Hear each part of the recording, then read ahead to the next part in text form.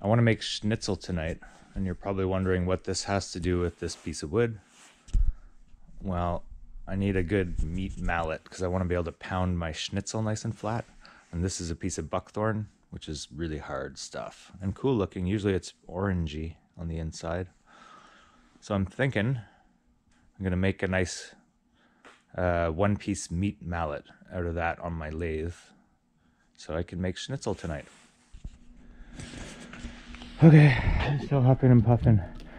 But there it is. I cut it with my trusty, I don't know why. I'm, it's a form of laziness. I have a nicer handsaw in my truck, but it's way out there. And I even have a chainsaw. But instead I torture myself with my old handsaw blade and a rag around the handle. Anyway, there's my piece. So on to the turning.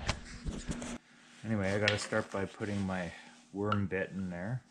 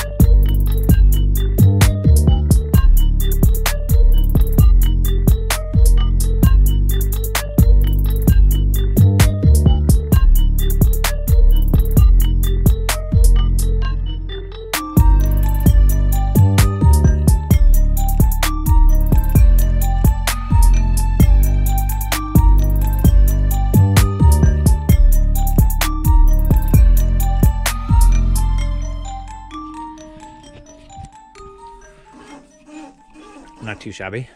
Buckthorn, that's cool. I don't think I'm gonna. I don't think I'm gonna lacquer. Well, maybe I'll friction. I'll put some. Let's see. I think it's frozen. Because it's so cold out here, yeah, it's pretty goopy. Well, maybe we'll try.